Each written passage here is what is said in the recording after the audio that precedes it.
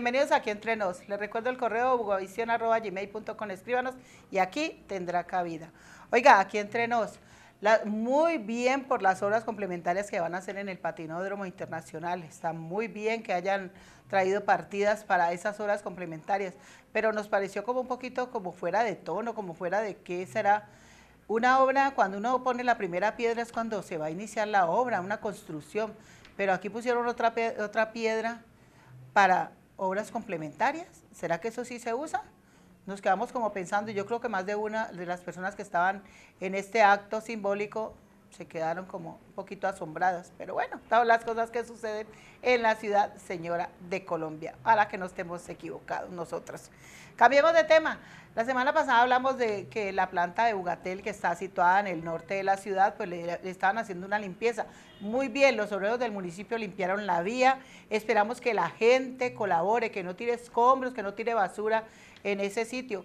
Pero lo que es en sí, dentro de la planta, está total, ya la tapa la maleza. Entonces, a la gente de Bugatel, por favor, búsquese otros obreros y limpien eso por dentro porque por fuera se ve bonito, porque le, hicieron la limpieza, pero, pero, pero seguimos pensando que hay que hacerle una limpieza profunda a lo que es la planta en sí, señores. Cambiemos de tema. Seguimos nosotros preocupados con los escombros. Resulta que en la calle Primera Sur frente a Confenalco hay una cantidad de escombros. ¿Los van a utilizar? Pues si los van a utilizar, pues acomódenlos, utilícenlos, pero señores, qué feo que se ve esa calle Primera Sur frente a Confenalco con esa cantidad de escombros que hay ahí. Y cambiemos de tema, aquí entre nos.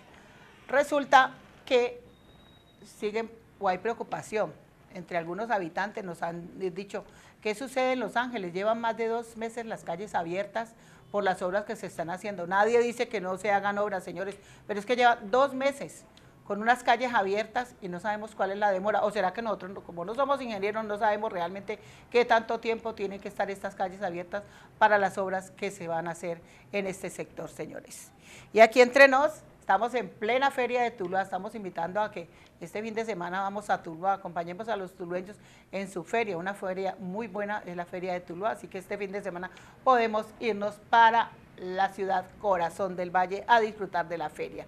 Y por último, señores, recuerden que las caravanas están prohibidas, que el próximo domingo es el partido de la final del fútbol colombiano, pero hay que tener mesura, hay que, el que gane, aquí hay mucho nacionalista, hay mucho caleño, entonces, por favor, hay que tener mucha mesura y ah, guerra avisada no mata gente, decían nuestros abuelos. Entonces, señores, hay que tener muy presente que las caravanas están prohibidas y que usted va hacer una celebración, hágalo en su casa, con su televisor, con sus amigos, pero a las calles es un peligro porque el batallón va a estar en las calles, lo mismo que la policía, para impedir que haya desmanes, señores.